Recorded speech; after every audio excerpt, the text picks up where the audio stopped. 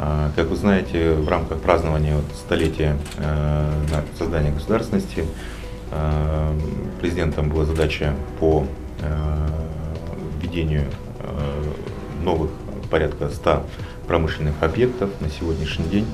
э, Мы запланировали к концу года завершение и ввод в строй порядка 133 э, объектов.